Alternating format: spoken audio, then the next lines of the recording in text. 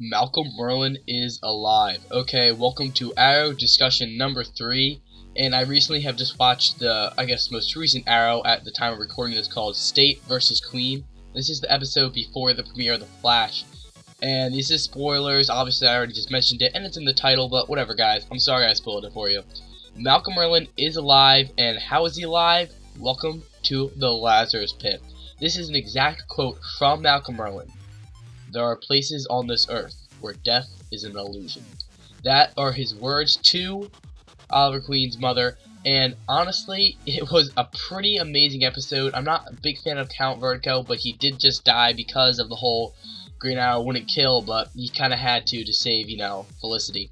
So anyway, this isn't a review, this is a discussion on Malcolm Merlyn. So in a previous discussion, I talked about how I think Tommy Merlyn will become, you know, the next Dark Archer, and then go to the Lazarus Pit.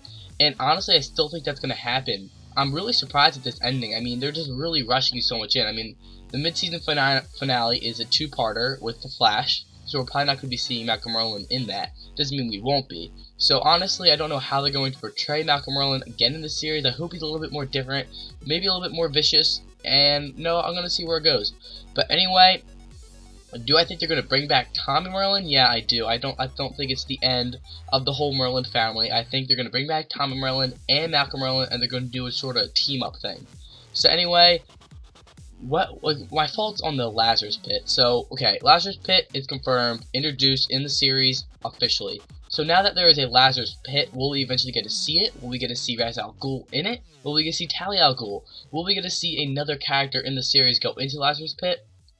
Most likely, that's a yes. But see, the one problem is just that, you know, okay, so now that, you know, characters can just get reborn, it's kind of like no one can really die. It's just like, I, I hope they, they keep this Lazarus Pit really locked up. Like, not like, oh, I can just walk in and become alive. Because I don't want Arrow to die and then go in the Lazarus Pit. I just don't want to have that happen. And I honestly, I hope they show the effects of the Lazarus Pit you know, throughout more character development on Malcolm Merlyn. Because I don't want them to be like, oh, he's perfectly normal. Because if you do know, the Lazarus Pit can mess with your head a lot, as we've seen in the comics. So I hope they really portray that. Anyway, this is pretty much the end of my discussion. I know it was a short one.